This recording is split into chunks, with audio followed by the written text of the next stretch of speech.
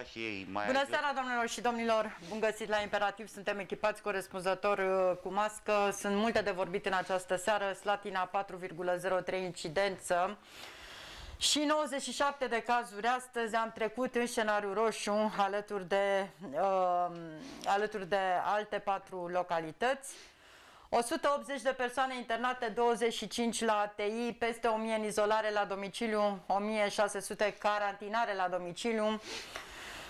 4 decese astăzi, 133 de decese în total, 332 de slătineni confirmați COVID, Oltul 1,69 urcăm, asta este ideea, din păcate trist, la mia de locuitori, incidență pe ultimele 14 zile și peste 15.000 de olteni testați, ceea ce mie mi se pare extrem, extrem de puțin la uh, o populație de peste 70.000 de locuitori cât uh, are județul.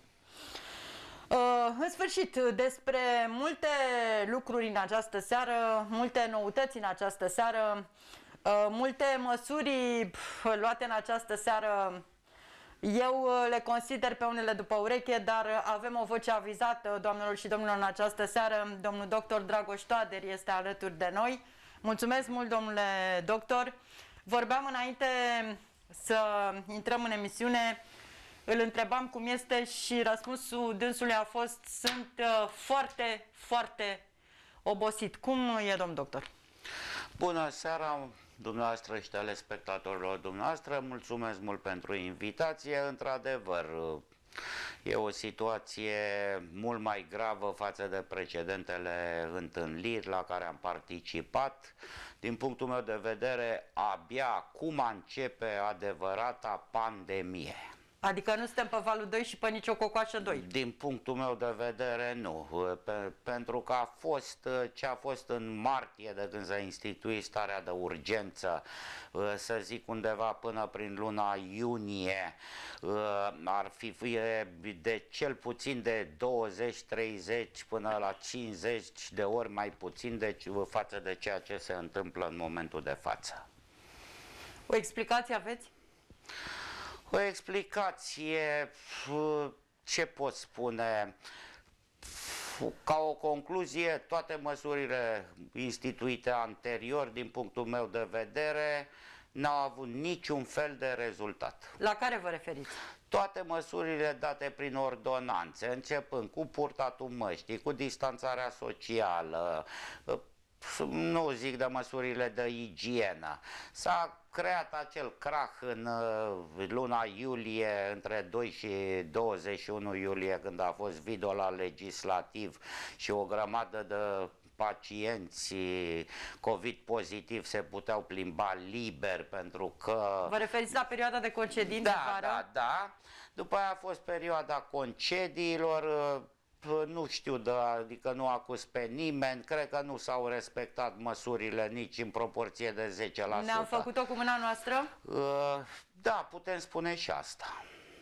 Putem spune și asta, pentru că... Adică n-am respectat toate recomandările care au fost da, făcute. de aici și măsurile actuale care s-au luat cu carantinarea aproape a întregii țări. Măsurile de igienă, sunt măsuri bune, măsurile de distanțare socială sunt măsuri bune, măsurile privind purtatul măștii, dar purtatul corect al măștii, pentru că din 10 persoane observ trecând pe stradă că 8 poartă masca sub nas, e egal cu 0. Adică e ca și când ai avea E și când, ca și când ai avea-o. Și dacă Sau... o porți, probabil o porți de frica organului, Așa, nu? iar aceste măști, genul acesta de măști care uh, observă uh, telespectatorii la mine, masca asta mai mult de 2-3 ore, să știți că nu mai are nicio valoare, ea se umezește pur și simplu. O să vină vremea rece, ploioasă. Nu, nu mai purtați genul ăsta de măști pentru că nu vă protejează absolut cu nimic. Păi ele, și atunci ce gen de măști Ele purtăm? sunt bune în interior, deci nimic de zis, dar și aici, în spațiile interioare, ele au un grad destul de bun de acoperire întâlnire cu o singură condiție, la patru ore să fie aruncată și, Și folosită schimbată. altă. Vorbeam în uh, emisiunea precedentă uh, și sunt uh, anume situații în care, de exemplu, pe o perioadă de 8 ore se dau uh, salariaților sau, uh, eu știu, uh, diversi, la copii, așa, se dau pe diverse culori. Iar cele, de, deci dimineața între 8 și 10 se poartă culoarea albastru, între 10 și 12 culoarea verde. Iar cele folosite sunt aduse înapoi să se vadă. Dacă găsești, eu știu, la orele 10, pe 12 pe cineva cu mască albastră, înseamnă că a fost purtată 4-5 ore. Și nu mai protejează cu nimic. Asta e problema. Nu mai vorbesc că uh, sunt o grămadă de solicitări la serviciu unic 112, că uh, o serie de întreagă de uh, pacienți care solicită să li se dea avize că au anume boli care le contraindică purtatul măștii. Într-adevăr, sunt aceste situații. Uh, bolnavii pulmonari, uh, cardiaci, alergici. Uh, Într-adevăr, există contraindicație că le poate face mai rău masca, dar pe acești oameni nu îi obligă nimeni să meargă în spații închise, în marketuri, în, dacă știu că nu au, uh, au uh, anume contraindicații la purtătul, purtatul măștii, să stea acasă. Deci Păi și asta dacă e sunt la soluția. serviciu? Problema cu serviciu e destul de complicată uh, uh, la genul ăsta de pacienți. Țin să precizez că uh, indicația, contraindicația purtat, uh, purtării măștii trebuie să aibă un uh, obligatoriu aviz medical. Adică nu nu la modul că eu sufăr de bronșită și n-am voie să, pă- să por masca. Adică cine cere, cine face o astfel de solicitare, cum că nu poate să poarte mască pentru că masca îi face rău, trebuie însoțită de un, un uh, document medical, medical, care să ateste Cu- într-adevăr că respectivul într-adevăr suferă că de o boală care pacientul poate să-i facă respectiv, rău. Da, purtatul măștii poate să-i facă rău. Dar uh, și în niciun caz nu se obține la 112. în niciun caz, în niciun caz. Cum Dom- la 112 e, uh, se cer tot felul de informații care efectiv nu țin de 112. Mai nou uh, uh, sună foarte des pacienții pentru a afla rezultatul testului COVID. Haideți să o luăm cu începutul, cu rezultatul testului COVID. Avem așa, uh, un ordin de ministru recent intrat în vigoare, nu? Da. 1819 din 27 noiembrie, octombrie, scuzați, uh, ordin după care funcționăm uh, din acea dată și absolut toate măsurile prevăzute în ordinul respectiv, cel puțin din punct de vedere medi- medical, noi le respectăm și ar trebui respectate și știute de întreaga populație. Da, eu uh, nu știu să-l fi făcut cineva public acest ordin, ca să fie știut așa de întreaga populație. Știu doar că am rămas cantonați în aceeași zonă în care ni se spune purtați mască, pă- păstrați distanțarea și spălați-vă pe mâini și stați cât mai mult în casă. Dar, domnule doctor, aș vrea să încep așa cu dumneavoastră. Uh, cumva uh, să înțeleagă telespectatorii să știți că am primit foarte multe mesaje. Emisiunea din această seară este o em- o emisiune, de fapt, ochii sunt pe dumneavoastră, nu pe mine. Și am să vă rog, uh, domnule doctor, să uh, faceți în așa fel încât să vorbiți pentru cei de acasă ca ei să înțeleagă și să fie lămuriți. Bun. Hai să o luăm așa cu, cu această testare.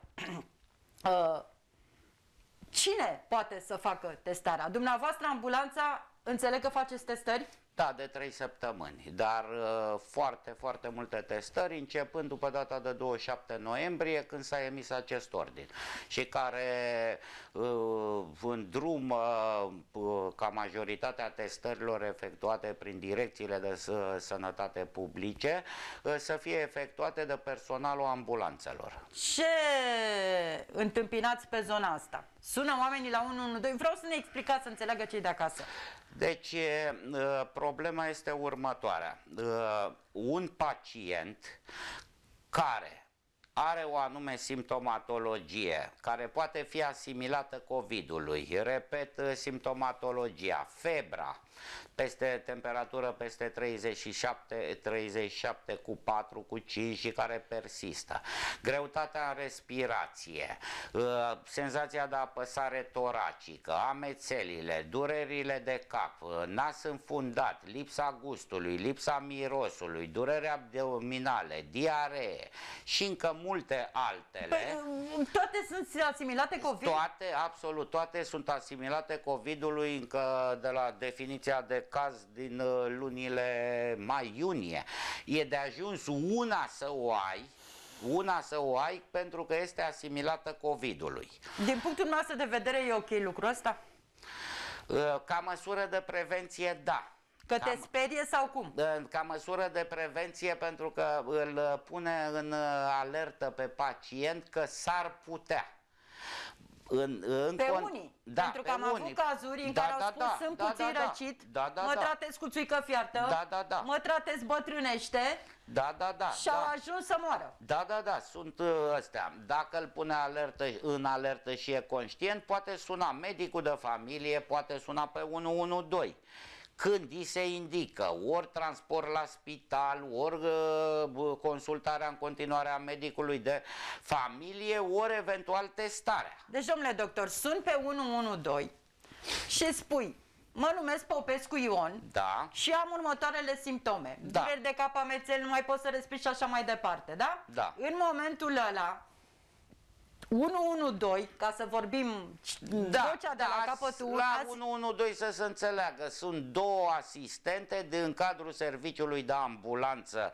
uh, Slatina care au uh, pregătire medicală destul de multă. Sunt asistente de lucrează de peste 30 de ani la serviciul de ambulanță. Bun, și spune Și o... sunt multe din turele, în special de dimineață, în care există și medic coordonator. Am înțeles.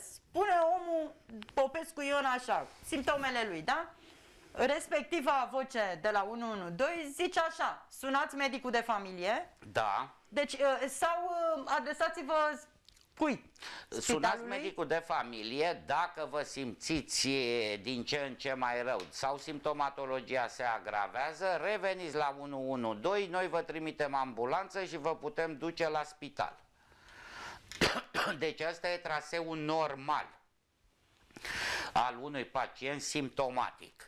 Referitor la... Să înțeleg așa de la dumneavoastră, că primul triaj se face la 112. La 112, da. Se face primul triaj, într-adevăr. Cât e triajul de la 112 de sigur? Cât de sigur este? E, este de sigur funcție de ce date transmite cel de la capătul telefonului care de... trebuie să fie corect și obiectiv, da. nici să exagereze, da, da. nici se să insistă de către asistentele de la 112, se pun întrebările de rigoare. Dacă pacientul se află în contact cu sau a luat contact cu un COVID pozitiv confirmat, dacă locuiește în casă, dacă au venit din zone care alte țări, mă rog, care sunt în zonele roșii. Dar uh, se insistă pe toate categoriile de simptome. Îl întreabă, are febră, are frison, nas înfundat. Câte astfel de apeluri primiți pe zi? Uh, pe 24 de ore peste 350-400 de apeluri. Păi și le faceți față? Nu, adică le facem față telefonic, dar de asta vă spun că e primul triaj. Așa, mai departe. Mai departe, mai departe uh, pacientul poate să înțeleagă sau insistă să vină la spital. În momentul în care se insistă, ă, noi nu putem să refuzăm ă, dacă pacientul insistă să vină la spital și atunci îi, trecem, îi trimitem echipaj de ambulanță. Aici trebuie să fac ă, o mică precizare. Noi lucrăm pe 24 de ore cu maxim 23 de echipaje pe județ la ora actuală. Ceea ce este foarte puțin. Ceea ce, este, ceea ce reprezintă, gândiți-vă, numai Slatina are în jur de 70.000 de locuitori. Pe Slatina se lucrează cu 8, maxim 9 echipaje, din care în unele zile unul e, e cu medic. Deci un singur medic pe județ. Să, să nu credeți că la serviciul de ambulanță sunt medici. La ora actuală lucrăm cu șapte sau opt medici. Pentru că mai avem care au fost infectați, mai avem care au fost uh, în izolare, avem care, doamn Dumnezeu să-l ierte, doctorul Constantin Dumitru a decedat, suntem foarte, foarte puțini și gândiți-vă că, în, să zic, în 30 de minute sosesc 20 de apeluri pe Slatina. Frecvent se întâmplă. Noi avem șapte echipaje. Nu putem să trimitem, triem. Nu putem să lăsăm uh, un pacient care a sunat, uh, să zic, la orele 9 și la orele 9.20 se sună pentru un pacient în comă sau cu infarct sau cu o hemoragie sau un accident, uh, să-l lăsăm uh, pe cel uh, cu starea mult mai gravă, pentru care prioritate e cel care a sunat mai devreme. Și atunci se așteaptă, de așteaptă și o oră, și două, și trei se așteaptă. Bun, înțeleg așa că uh, mai nou Uh, vă puteți da masca jos și bea o gură de apă în cazul în care simțiți nevoia pentru că este normal să se întâmple așa. Și nu vă grăbiți pentru că avem timp. Uh, înțeleg așa că mai nou uh, sunteți efectiv asaltați uh, și aș vrea să uh, înțeleagă telespectatorii cei de acasă foarte bine lucrul ăsta pe telefoane uh, cerându-se testarea. Da. Din păcate, aceste telefoane le primiți în cursul zilei, dar le primiți și, nu știu dacă e bătaie de joc, sper să nu fie, dar mi se pare absolut halucinant ca la 4 dimineața să primești telefon și da. să ceri să fii testat la ora 4 dimineața. Nu, și e caz real, deci echipajul s-a deplasat la ora 4 dimineața, la ora 2, la orele 23, ce vreau să se înțeleagă? Cei, care, cei care cer la testarea la orele astea fac atac de panică, justifică ceva uh, demersul ăsta în noapte, în dimineață, uh, atât cât nu mai poți aștepta până iese Probabil, atac, probabil atacuri de panică, dar din punctul meu de vedere e, zic ca la românească, să apuc, să fiu primul. Deci, din punctul meu de vedere, să nu scap ocazia. Da, ca la coadă la tigăi. Da, da, da. La să promoție nu, la coadă da, la să nu tigăi, scap da. ocazia. Ce se întâmplă cu aceste apeluri apropo de testări? De trei săptămâni testările uh, cu o precizare gratuite se fac de către asistenții de pe echipajele de ambulanță. Testul în sine nu este urgență medicală. Simptomatologia pacientului e urgență medicală, adică nu solicitați testare pentru că a solicitat vecinul sau uh, am auzit de la nu știu cine că vreau să mă, că trebuie să mă testez și eu. Dacă aveți simptomatologie, sunați oameni buni pe 112 și ne spuneți exact ce aveți ca să putem decide noi, medici, asistenți, că trebuie să mergeți la spital. Testul în sine primiți rezultatul după minim o săptămână. Să știți că nu se lucrează mai devreme, pentru că nici personalul DSP-ului e insuficient și nici ei nu fac față. Nu se pot lucra volume de sute de teste pe un singur laborator. E imposibil. Timpul ăsta care uh, îl pierdeți din momentul testării și până 7-8 zile când primiți, te, când primiți rezultatul este un timp foarte periculos pentru că simptomatologia poate să vă afecteze din ce în ce să se agraveze și dumneavoastră ca pacient așteptați testul, nu mai sunați la 112 sau sunați când uh, e deja foarte târziu. De simptomatologia pentru simptomatologie sunați la 112, nu strict pentru testare. Apropo de testare, dacă sunteți contați, locuiți în aceeași casă, în același apartament, cu un pozitiv și ați luat contact cu el, dacă începeți să dezvoltați simptomele care vi le-am spus, foarte important, febra și greutatea în respirație. De, deci nu că sunt specifice COVID-ului, sunt specifice tuturor gripelor, dar sunt cele mai periculoase. Deci febra, febra persistentă care se agravează, se mărește... Și care nu cedează la... Și care nu cedează la uh, antipiretice, antitermice, la paracetamol, algocalmin, la tot felul de uh, substanțe din astea, Anunțați medicul de familie dacă se află în program. Acum nimeni nu spune să anunțați medicul de familie la două noaptea. La două noaptea sunați pe 112. Pentru că vine echipajul de ambulanță și mergem la spital. Dar sunați pentru ceva serios. Serios, asta vreau să spun. Pentru că uh, a suna pentru testări, uh, la, uh, începând din data de ieri, s-a intrat pe o platformă, se numește platforma Corona. Adică dumneavoastră sunați că vreți să vă testați. Vă... Și că e gratuit și că e gratuit. Vă înregistrează personalul de la STS, adică de la Serviciul de Telecomunicații uh, speciale. speciale. Acolo va apare nume, prenume, număr de telefon și adresă și vi se spune că o să vină ambulanța.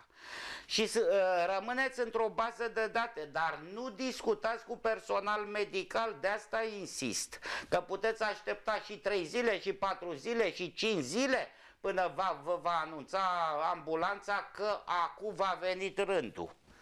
În timpul ăsta e, din punctul meu de vedere, un timp foarte periculos, pentru că noi ne discutând cu dumneavoastră nu vă știm simptomatologia ca să putem decide să vă luăm, să vă ducem la spital. Uh, telefonul de care vorbeați înainte, uh, acest, uh, această linie cu, cu STS-ul da. este diferit de 112? Nu, orice apelare pe 112, legătura se dă întâi la STS, acolo se primește, dar acolo nu există personal medical. Toți care vor testări intră în baza de date și noi primim la serviciul 112 pe dispeceratul medical decât niște date. Constantin Dumitru, 74 de ani, locuiește în comuna Izbiceni și la strada principală numărul 3 și solicită testare. E, acest, despre acest Constantin... Și atât. Atât. Noi nu luăm legătura. Nu, Constantin Dumitru solicită doar testare și atât. Și atât. Nu noi, mai spune, domne, noi, am nu, uh, febra, nu, nu, am, nu, noi nu înțeles. știm simptomatologia pacientului ăsta. Nu știm dacă are boli asociate la, în, în funcție de vârstă, de obicei sunt boli asociate, boli cardiace, diabet, uh, eu știu, bronhopneumonie cronică obstructivă, sunt o serie de boli. Dacă ar fi discutat direct cu noi, uh, poate să aibă un mic semn de COVID și uh, discutând cu personal medical, noi putem să facem un gen de triere, să-i spunem, domne, trebuie neapărat să mergeți la spital, nu să faceți și să așteptați șapte zile da, da rezultatul da, testului. Auziți, e periculos, uh, ce, e, e foarte pertinent ce spuneți, dar este și periculos în același timp, pentru că Uh, acum, uh, uh, omul poate să sune la 112 el sună în ideea de a fi testat, da, pe lângă fraza vreau și eu să fiu testat, poate să mai spună pentru că am febră și el de fapt să n-aibă. Da, e foarte probabil sau poate să, să spună că are 8 simptome și să n-aibă niciuna sau poate să spună că sau poate să omită. Sunt, sunt și multe apeluri în care se omit anume simptome se omit cu, nu știu în ce, în ce sens le omit, ă, există teama aia să nu cumva să am sau să afle vecinul. Avem uh, foarte multe situații de astea. Să nu afle vecinul că am febră sau că tușesc, că e posibil să fiu COVID. Ori uh, chestiile astea sunt enorm de periculoase. De asta spun, dacă aveți uh, într-adevăr simptomatologie de COVID, febră în special, durere în piept, greutate în respirație, tuse și astea se agravează pe parcursul a 24-48 de ore, sunați, atunci sunați pe 112 pentru că atunci sunteți de spital. Dacă sunați numai de, pentru testare, v-am explicat ce se întâmplă. Intrați într-o bază de date și puteți să așteptați și 4 zile și 5 zile până ajunge ambulanța să vă testeze. Că nu este o urgență testarea în sine. E favorabilă din punct de vedere economic că nu plătești. Testul, și... din câte știu eu, la clinicile astea private da, vreo... ajunge undeva la 400 de lei sau da, 480 ceva, chiar, 480. Da. În Foarte fine. scump, Dar da. asta vreau să spun, nu vă nu solicitați testul că m-am testat. Și, În afară de, de faptul ăsta, v-ați testat astăzi. Uh, Asta uh, nu înseamnă că dacă v-ați testat astăzi, totul e în regulă, că peste șapte zile vă poate ieși test negativ, dar în astea șapte zile, când primiți rezultatul, puteți să deveniți pozitiv simptomatic și trăiți cu falsa impresie că aveți un test negativ. Sunt situații Și atunci destul de tratezi, frecvente. uh, Și tratezi febra testul. capă- da. Cum se dă pe 1-2 sute de telefoane și spune am tensiune 180 că am tensiometru. Păi ai tensiune, dar pe mine mă interesează dacă ai luat legătura cu medicul de familie, dacă ești bolnav cronic, dacă îți urmezi tratamentul.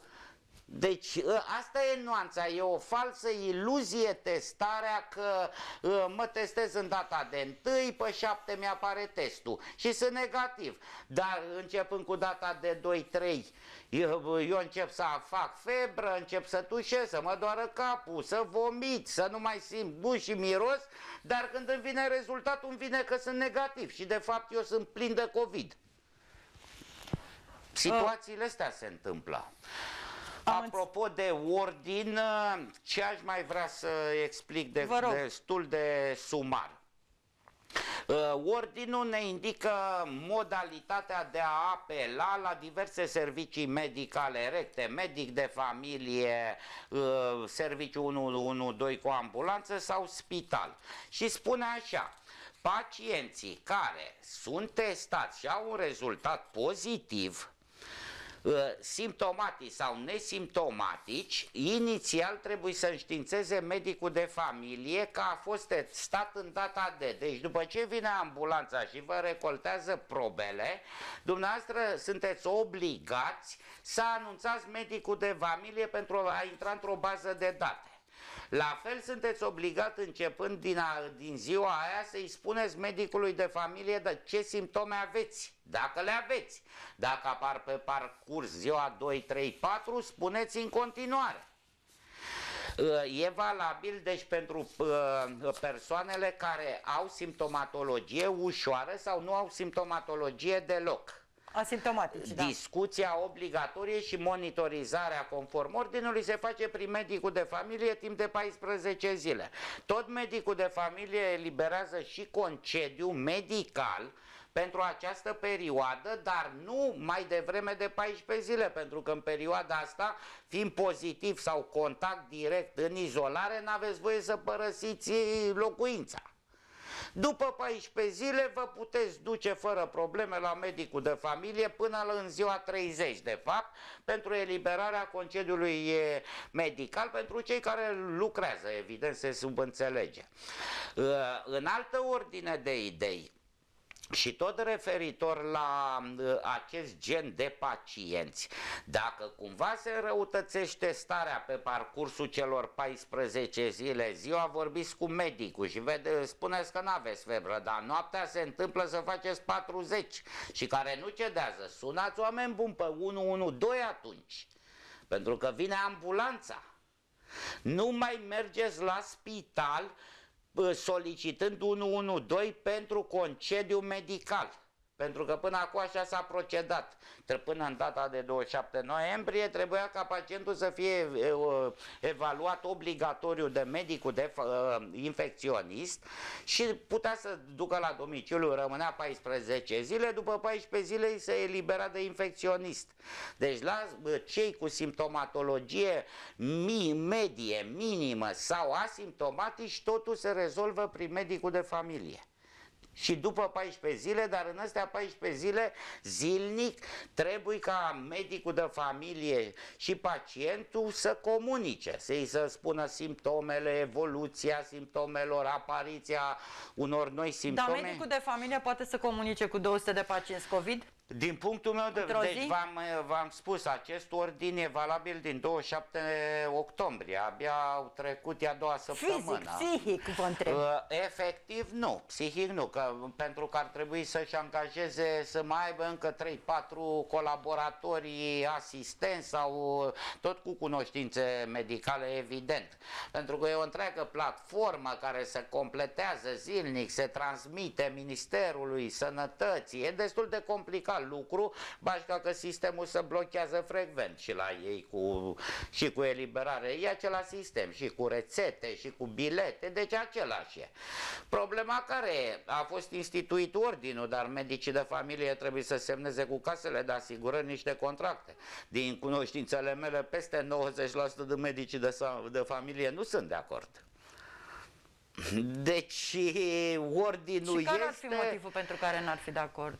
Păi, probabil volumul e imens de, de muncă, pentru că, într-adevăr, să ai 40-50 de COVID și zilnic, zilnic să îi monitorizezi, nu e ușor.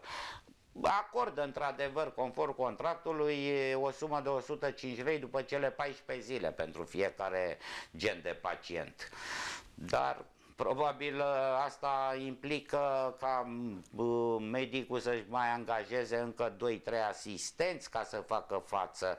E destul de complicat și e complicat chiar și medical, pentru că nu sunt protocoale care să indice scheme de tratament specifice covizilor simptomatici cu simptome minime sau uh, cu simptome medii. Deci e destul de complicat oricum. E ordinul așa. Asta e prima categorie. A doua categorie, pacienții cu simptomatologie medie ajung la spital. Dacă au șansă să găsească pat liber, sunt internați. La internare pot sta 48-72 de ore sau mai multe zile. Dacă medicul infecționist decide, pot uh, și după 7-8 zile, și după 9 și după 10 zile, pot merge la domiciliu și rămân până la cele 14 zile în izolare. Acești, acest gen de pacienți care au nevoie de concedii medicale vor obține după cele 14 zile concediu medical de la medicul infecționist. Deci astea sunt nuanțele, așa, pentru că medicii infecționiți până acum erau pur și simplu asaltați de cazuri care solicitau pur și simplu concediu medical. Deci nu consultații, nu nimic, dar le trebuia o adeverință în baza căreia să poată obține concediu medical pentru că nu-l primea angajatorul. Tot în ordin se mai specifică și de-aia vreau să fie foarte uh, mare atenție. După trecerea celor 14 zile nu mai există retestare. Până acum existau nuanțe în care angajatorii cereau retestare la 14 zile ca să ai buletin negativ de COVID ca să poți să vii la servici. De data asta retestare nu mai există. Dacă angajatorul solicită re retestarea angajatului, trebuie să o facă, poate să impună, dar să o facă pe banii lui. Adică instituția să plătească că... Sau tu pe banii tăi. Sau tu pe banii tăi. Deci astea sunt nuanțe. Dar a doua testare gratuită la 14 zile, cum a fost anterior, se făcea testare în ziua 1, în ziua 7, 8 și în ziua 12, 13, așa nu mai există De ce? nuanța cum, asta. Cum, cum uh, catalogați asta? Din punct de vedere medical, eu consider o utopie. Nu știu efectiv ce alte interese, dar e o utopie, pentru că tot timpul asupra genului ăsta de pacient există suspiciunea că el e pozitiv din moment ce a fost. Aici e nuanța, da, sau problema banilor. Da, chiar poate să fie. Și chiar poate să fie, pentru că în ordin... Adică după 14 zile te poți duce la nu, serviciu? în ordin să specific așa, după cele 14 zile, dacă simptomatologie, dacă pacientul este asimptomatic sau are simptome ușoare, să mai poartă încă 10 zile mască. Oricum e obligat pe măsurile de carantină să poartă, o să purtăm mască probabil încă 2-3 ani de acum înainte. Deci atâta. Dar nu mai obligă retestarea la uh, ieșirea în, uh, la serviciu sau după cele 14 zile. Dar asupra pacientului ăla tot timpul există suspiciunea că încă e Păi da, COVID. chiar poate să fie exact ce spuneam mai Din punctul devreme. meu de vedere, explicația medicală e utopică, uh, din alte puncte de vedere e problema banilor. Mă refer la testele gratuite. Și riscul rămâne. Riscul... Pentru că după 14 zile, dacă ești încă... Se, se consideră că după 14 zile nu mai transmiți se chiar dacă ești consideră pozitiv? datorită evoluției și, a mecan... cu evoluției și a mecanismului fiziopatologic care se cunoaște uh, în problematica COVID-ului, că nu știm pro, poate nici 10%. Deci din datele acumulate de acum Domnule 10, doctor, eu vă 12 întreb așa luni. pentru cei de acasă. Stai 14 zile în izolare, ai fost pozitiv, stai 14 zile în izolare, uh, după 14 zile nu te mai testează, te duci la serviciu. Te duci la serviciu, umbli Că ai liber, nevoie de da, bani, da? umbli Și tu liber. ești, tu încă ai virusul, da? Da, da. Transmiți sau nu transmiți? Uh, poți să transmiți. Poți să transmiți. Păi Dumnezeu, asta înseamnă că e așa un Da, de asta am cerc. spus că din punct de vedere medical e o utopie. Din punct de E vedere periculos, medical. e foarte măsura periculos. adoptată pe, pe ăsta, pe ordin, dar așa, foarte mulți pacienți solicită și acum pe 112 retestarea în ziua 14 și nu putem să îi retestăm Pentru că nu vă lasă pentru că ordinul. nu ne lasă ordinul. Le spunem să se testeze dacă pentru liniștea lor în privat sau v-am explicat, dacă angajatorul nu te primește la serviciu, să plătească și să-ți, facă, să-ți faci testul. Bine, dar asta nu expune și pe cel care este sănătos? Ba da, ba da, expune, bine. Și oamenii ăștia când au făcut ordinul ăsta, specialiștii aia cu care se întâlnește domnul Iohannis la Cotroceni, că ne-au omorât cu ei, cu specialiștii cu care se întâlnește la Cotroceni, n-au avut nimic de spus? Uh, Problema ordinelor și a În afară de capul jos și ordinele, pupat paltonul? ordinele, ordonanțele și tot felul de dispoziții, din cunoștințele mele, nu, nu sunt luate de virusologi, imunologi, infecționiști cu experiență. E o nuanță mai mult uh, politică, nu știu, politico nu, efectiv, din punct de vedere medical, uh, eu consider că nu, nu e corect. Domnule doctor, cât e de sigură uh, această nouă platformă? Adică vă întreb așa direct, pe această nouă platformă bază statistic, de, așa, da, statistic, Ca, ca bază de date e valabilă. E valabilă pentru se că mai știm, poate pune capacul pe câteva cazuri? Se mai pot uh, amâna niște raportări? Da, da, se... da, da. De, deci, e- statistică e valabilă că știm uh, peste 4, 24, 48, 72 de ore că avem de testat un număr de. Uh, Din punct de vedere real, mai mult de 40% din ce apare solicitare pentru testare nu se poate face. În afară de asta, eu aici acuz genul ăsta de, de platforme care dau numai statistic. Ne discutăm personal medical cu pacientul în cauză, starea pacientului se poate agrava. Și în momentul în care îi vine rândul la testare, s-ar putea să fie deja intubat sau deja prea târziu. Aici, aici eu nu sunt de acord cu, cu problema asta. Una e să discuți cu pacientul, chiar și telefonic, și să-l întrebi ca medic, ca asistent.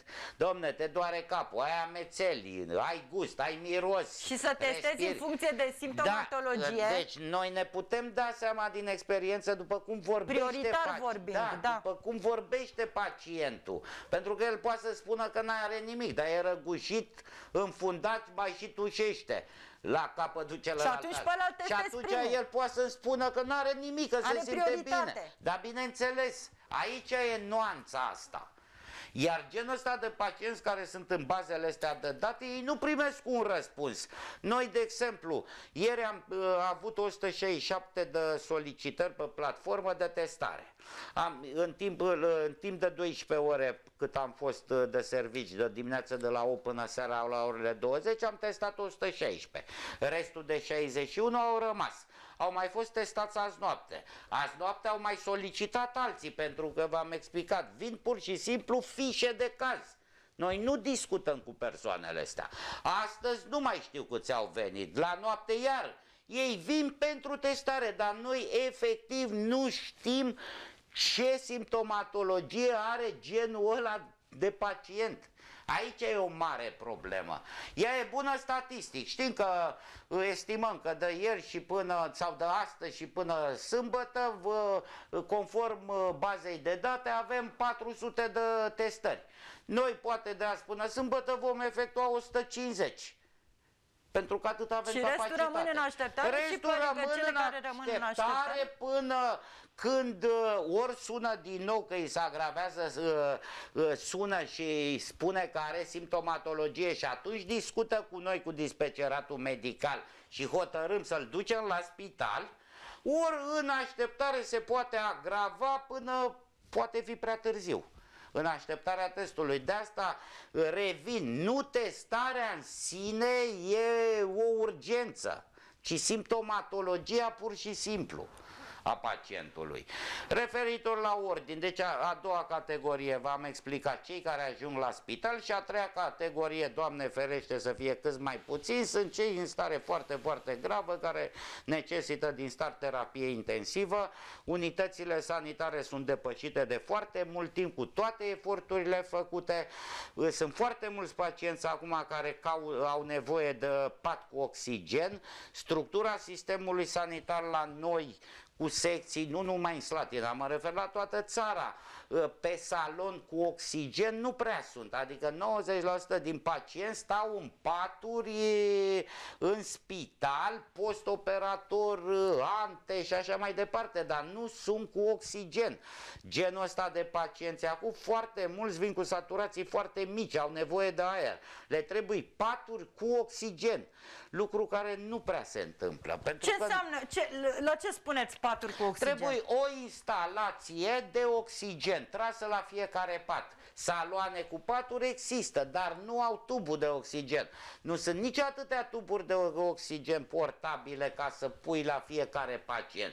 Genul ăsta de pacienți până ar ajunge în terapie au nevoie de să fie ventilat, să, să, să aibă oxigen de undeva. Asta e toată nuanța. Am văzut că în, ultime, în ultima săptămână foarte mulți sună și au, uh, îi găsim cu saturație sau chiar și-au cumpărat mulți uh, dintre pacienți pus oximetre și ne spun pe 112. Am saturație 80, am saturație 70. Sub 94, ca să știe toată lumea, dacă aveți pulsoximetre, măsoară concentrația oxigenului în sânge, sub 94 este o problemă. Trebuie să sunați pe 94%, trebuie să sunați pe 112. N-aveți pulsoximetre, nu e nicio problemă, simțiți apăsare toracică, adică în piept sau o fierbere sau greutate în respirație, sunați pe 112. Ăstea, cam asta cuprinde ordinul, așa, cu concediile medicale v-am explicat, cu medicii de familie sau infecționiștii, dacă pacientul ajunge în spital, uh, alte măsuri specifice, bine, mai e încă un ordine. Trageți-vă sufletul un pic că trebuie să luăm o pauză publicitar, publicitară binevenită în special pentru dumneavoastră și ne întoarcem, doamnelor și domnilor.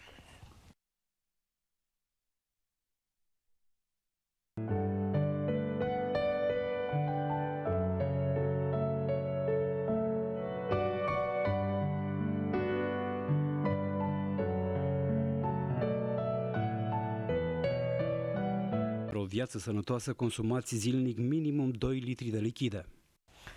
Am revenit, doamnelor și domnilor, suntem în direct alături de domnul doctor Dragoș Toader. Domnule Toader, uh, uh, sună oamenii la 112 și ce rezultatul testării? Da, mai nou, uh, mai nou însemnând de vreo de săptămână asta, întrucât se întârzie primirea rezultatului de către pacient s-a ajuns la peste o săptămână, uh, se sună pe 112. Vreau să spun oamenilor că 112 nu se ocupă de prelucrarea probelor recoltate și nu avem sub nicio formă cum să vă ajutăm pentru că nu știm, noi nu lucrăm cu probele. Ambulanța doar recoltează. Probele sunt duse la Direcția de Sănătate Publică, la Sanepi, ca să înțeleagă toată lumea, acolo sunt codificate, sunt trimise în alt laborator unde sunt lucrate, uh, volumul de muncă este foarte mare, personalul insuficient, se poate aduce în ziua 1, să zic, probele și pot fi lucrate în ziua 3 sau în ziua 4, de-aia rezultatele întârzie. Dar 1, 1, 2 nu poate sub nicio formă să vă dea vreo relație referitoare la rezultatul testului Cum primește un om COVID. Rezultatul testului?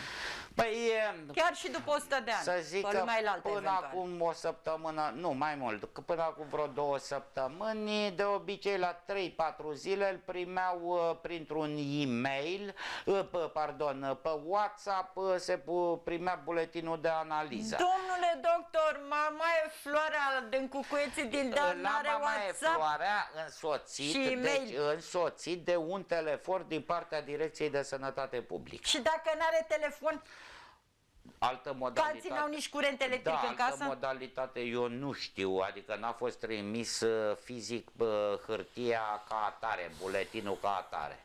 Deci astea erau modalitățile. Dacă nu mai exista a treia modalitate, modalitate când buletinul de analiză ajunge la uh, Centrul Județean de Coordonare și Control, uh, cei de, de aici să insiste, anunța primarul sau anunța învățătoarea sau fica sau uh, fiul ca să-și anunțe persoana cu care nu s-a putut lua contact. Dacă știe Dacă fica sau știe, fiul. da. Acum uh, v-am explicat situația.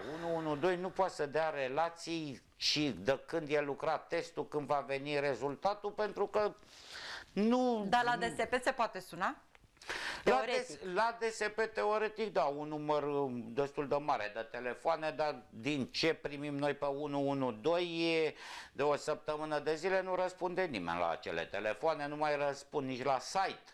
Uh, au un uh, e-mail dsparon.dsp ar- dsparon.dsp.ro în care după un anume timp când uh, au uh, rezultatul testelor ar trebui să trimită.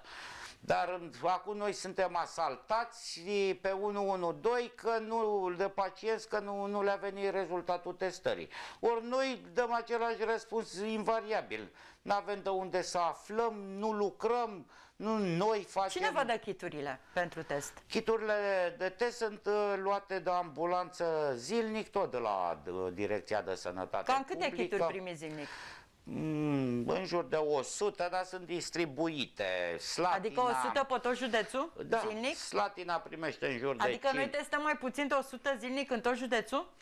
Uh, mai sunt uh, celelalte care vin uh, prin testările din spital, prin testările private, deci sunt peste 100, dar noi capacitatea ambulanței mai mult de 100, niciun caz nu putem să Păi da, testăm. dar dumneavoastră ambulanța nu primiți kituri de la uh, privați. Nu, noi nu primim de la uh, privați, noi primim de la Direcția de Sănătate Publică. Acum două zile a rămas fără kituri la orele 16.30 și abia ieri dimineață la orele 10 jumate am primit. Aseară la orele 15.30 am rămas pe zona Caracăl fără kituri și pe zona Scornicești. De ce vi se dau atât de puțin? Ați întrebat? Efectiv, nu știu. Deci nu... Poate din cauza capacității de lucru, a procesării, a valorii în sine a DSP-ul kitului. înțeleg că le achiziționează, sau înțeleg nu știu, eu. Nu știu Da, modalitatea. nu știu nici eu, că acolo nu, e deci așa. Nu, nu cunosc. Instituția Noi e atât de primim hermetică chiturile încât, uh, pentru da. recoltare. Echipajele ambulanței se uh, deplasează și uh, recoltează un număr X de probe care sunt aduse deci la Sanepi și după aia urmează restul, nu mai știm ce se întâmplă. Da, n-ai pe cine să întrebe acolo că doamna nu ții nu Noi nu spune știm nimic. deci de ce să dau Doar prea încasează. târziu, de ce să Uh, lucrează, statul de plată. ce... Da. Probabil personalul e uh, fizic, uh, Epuizat. epuizat da. și psihic Asta mă și gândeam și eu, da. nu știu. Apropo de personal epuizat, cum definiți dumneavoastră contactul direct? Că și aici e o... Păi contactul direct e contactul cu un COVID uh, pozitiv uh, cu rezultat care, uh, adică, de exemplu, soție, ca să înțeleagă toată lumea. Soțul e testat și e pozitiv, soția, în ulti, dacă în ultimele 14 zile au, locuiești în aceeași încăpere, stai sau în același Cu mama, birou, cu tata, cu copilul, cu toată lumea. cu toată da, lumea, cine stă? toți sunt contacti direcți. Asta ar trebui să o stabilească automat uh, an- ancheta epidemiologică care se efectuează tot de Direcția de Sănătate Publică. Păi se efectuează, ziceți că se efectuează? Pentru că Mm. eu știu cazuri în care contactul direct, adică soția sau soțul, se duc bine mersi la serviciu. Da, știm, cunoaștem și noi și avem o serie întreagă de apeluri pe tema asta. Soțul e COVID pozitiv, soția cu care conviețuiește de, și în urmă cu 14 zile sau de N zile, că așa se consideră, în urmă cu 14 zile, că de aia se, se numește, să nu ai contact cu persoana respectivă. Se duce la serviciu și soțul, soțul stă acasă fiind COVID, simptomatic sau Și asimptomatic. livrează, dacă soția e pozitivă, asimptomatică, livrează. Nu e coronavirusul ăsta la libera con- circulație. Contactul direct, uh, adică procentul de a transmite este foarte mare la contact direct. Asta e valabil și pentru colegii de birou. Automat. Pentru E că un stai coleg de birou. 4 ore, 6 ore, indiferent că stai tu la 2 metri și că porți mască, dacă încăperea nu se aerisește, cel puțin din oră în oră, dacă nu există flux de aer ca să nu Dar rămână... domnul doctor, te mai plimbi cu o hârtie până al birou, te mai duci la toaletă, te mai Deci, ieși afară la o țigară, în mai, afara, adică în afara celui testat care e pos, uh, COVID Mai bagi în pozitiv, gură un sandwich, cel un mai ceva. periculos transmițător e contactul direct. Asta mă refer în modul în care uh, ești în cunoștință de cauză. Ca așa bă, pă, transmitere comunitară automat, că se poate lua de luni de zile de oriunde. Da, deci eu deja, credeți-mă, îmi pun mâinile în cap, la propriu așa îmi pun mâinile în cap. Care este diferența dintre, avem așa, peste 100, peste 1000 în izolare la domiciliu, peste 1600 carantinare la domiciliu. Domn doctor, ce și mie diferența între izolare la domiciliu și carantinare la domiciliu? Uh, Că da. pe cuvânt îmi scapă. A fost, uh, a fost, uh, deci la începuturi, începând cu lunile, uh, cu luna martie, uh, definiția carantinării uh, se referea la cei care vin din alte zone, din alte țări de Și obicei. avem, că ia, uite, atunci e- 1600 din alte zone carantinați la domiciliu, adică ăștia sunt veniți toți din afară, din străinătate? Nu, că asta voiam să vă explic, că atunci definiția carantinării consta în cei e, veniți din străinătate int- și erau intrați în, în țară și trebuiau carantina și se carantinau de obicei instituționalizat în hoteluri, în diverse Da. spații. Izolații, ă, izolarea se referea la cei de la domiciliul lor, contacti direcți, indirecți, dar s-a schimbat definiția asta, nu mai rețin exact, dar cred că e de vreo două luni, e un ordin, așa, ă, nu mai știu exact numărul să Nu vi-l îmi contează, precizez. e un ordin. Ăștia Unde dau la de ordine... fapt, de fapt uh, uh, s-a, uh, pur și simplu s-a, s-au inversat definițiile. Carantinatul devine un fel de contact direct care stă la domiciliul lui. Pe care contact direct dacă până acum vorbiram că uh, colegul de birou și cu soțul uh, care are soția infectată să ce bine mers la serviciu, care Da, păi de carantinat. asta s-au schimbat definițiile tot uh, conform unui ordin, iar izolatul e cel care este izolat în spital, la asta se referă, adică internat sau în alte... Păi de, atunci de ce scrie izolat la domiciliu? Da, pe- pentru că În poți comunicatele fi, de presă așa ni se deci dă, izolat poți la fi domiciliu. izolat în spital, fiind tratat, izolat în uh, diverse spații care sunt asimila, asimilate spitalului, gen cămin de bătrâni Așa, da. medico-sociale, izolat la domiciliu cei asimptomatici, chiar de sunt uh, COVID pozitivi Mhm. și care țin uh, legătura cu medicul de familie sau izolat, de exemplu, uh, nu vreau să-mi uh, infectez familia sau să iau contact, eu sunt, uh, eu fiind, uh, eu fiind uh, COVID pozitiv și mă izolez în altă locație, am altă casă să zic, sau pur și simplu uh, solicit uh, statului român să-mi dea o locație să mă izolez pentru a nu uh, periclita transmiterea către familia mea. Asta înseamnă izolat, deci izolat e și cel internat în spital și în alte spații și izolat la domiciliu. Și domiciliul e așa. Asta, o bulă da. mare și Iar frumoasă în care noțiu- trăiesc da, ăia de sus, care da, ne-au făcut da, praf. Da.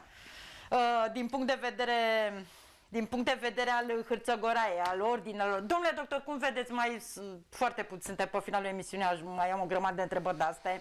Măcar un minut sau două, dacă mai poți să-mi dai și mie, Florine. Uh, cum vedeți măsurile de acum? Dar vă rog să comprimăm. Măsurile de carantinare Nu, gene- nu, nu, astea acum luate toate, toate, cu...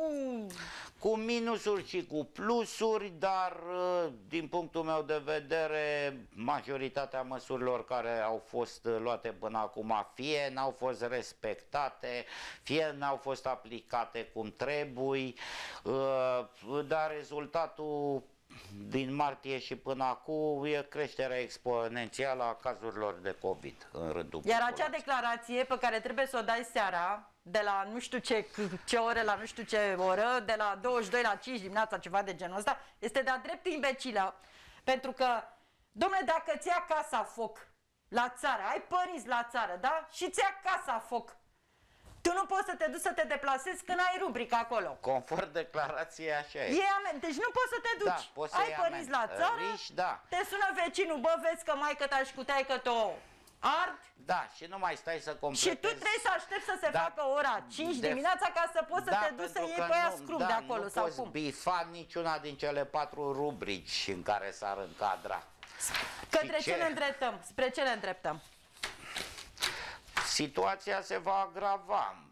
E, A început deja sezonul rece, se amestecă viroza cu gripa comună sezonieră, cu COVID-ul, transmiterea e exponențială, paturi prin spitale greu de găsit. Din punctul meu de vedere, situația e mult mai neagră decât uh, în primăvară sau în vară. Și evoluția va fi Da, numai... mai rea. Uh, ce trebuie să facem noi? Să ne adică cum protejăm. trebuie să ne băgăm noi mințile în cap? Să ne protejăm în primul rând uh, noi și familiile noastre dacă am procedat și am avea genul ăsta de conștiință, să ne spălăm de 10 ori, de 50 de ori dacă e nevoie, pe mâini, pe față, să purtăm masca, să o aruncăm după 2-3 ore. Acum știu că sunt în probleme cu plăți, cu cheltuieli, cu nu știu așa, să evităm mulțimile, să nu suflăm în ceafă vecinului, adică să nu luăm proverbul ăla, a murit uh, capra mea să moară și a vecinului. Dacă ăla e infectat, stai că și eu tușesc, mă duc să tușesc în magazin sau în birou, nu știu care, că așa am eu chef. Să fim mult mai responsabili ca să evităm a ajunge în situații din astea care, vă spun, peste 50% sunt situații dramatice, adică ai paciente nor de grav și nu ai unde să-l duci pentru că nu găsești un pat de spital liber cu oxigen. Uh, a suferit uh, mutații uh, virusul între timp, e uh, mult mai agresiv, mult mai perfid, mult mai cum?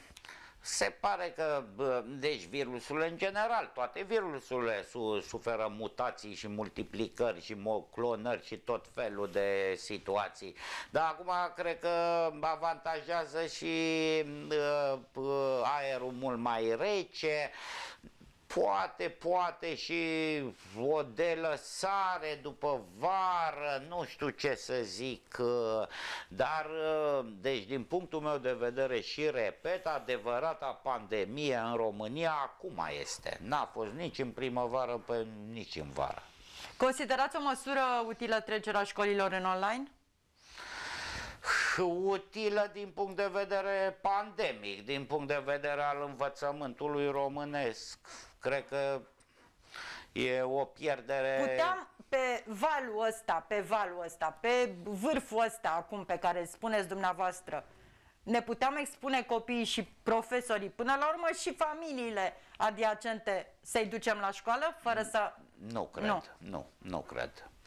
Nu cred, da, ca măsură, nu știu, poate puteau fi luate măsurile încă din primăvară sau în timpul verii, oricum se știa că se va ajunge la genul ăsta. Problema e câți beneficiază de învățământul ăsta online, că să tot Da, trâm- asta este o altă discuție, Păi, așa da, este. să tot trâmbițează, Da. dar probabil 60%... Omul gospodar își face iarna uh, A, da. car și vara da, statistic sanie, și dar la noi, televizor totul da, noi e, am e făcut, roz, da, așa noi este. avem curent electric și... Ultima întrebare, că trebuie să ieșim, uh, domnule doctor. Uh, Sunt tot felul de... Dar vreau așa repede să-mi spuneți, câteva secunde, vă rog mult de tot. Sunt tot felul de scheme de tratament care circulă așa și pe WhatsApp, și pe Messenger, și pe Facebook, și pe ce, unde vreți dumneavoastră și unde nu vreți dumneavoastră. Uh, unii ne spun să luăm paracetamol în fiecare zi, alții ne spun că pe lângă paracetamol la să luăm vitamina C și cu fier și cu zinc și cu vitamine și cu uh, decasepturi de sub și așa. Sunt eficiente astea? Teoretic sunt eficiente, dar uh, trebuie ca cei care le folosesc uh, obligatoriu ar fi bine totuși să întrebe un medic, pentru că uh, simplu paracetamol, dacă luați mai mult de un gram jumate pe zi, adică 3 pastile de 500 de miligrame, paracetamolul nostru românesc, care Așa. știe așa, uh, deja începe să afecteze ficatul și puteți să ajungeți la insuficiență hepatică. Deci schemele sunt bune, dar trebuie să... d- Pe Adaptate organismului? Da, și pe internet nu se dau. Acum pe internet se dau tot genul, știu, ultimele vaccinuri uh, care au apărut în Franța, care cu modul de transport prin Statele Unite, tot felul de substanțe. Nu vă hazardați că nu o să le găsiți nici de acum uh, în 2 ani substanțele astea sau să credeți că sunt panacee universale, gata, am făcut o doză, am scăpat. Nu! Noi v-am spus și în emisiunea de data trecută, ca populație, nu numai a României, a globului, probabil, în decurs de câțiva ani o să devenim imuni, organismul o să dezvolte anticorpi care să, o, o să lupte cu virgulă COVID-ul, cu gripa și așa mai departe. Și Tratamentele astea, deci le luați, dar nu după internet. Vorbiți cu un medic înainte, nu le folosiți și nu le distribuiți uh, aiurea fără să înțelegeți.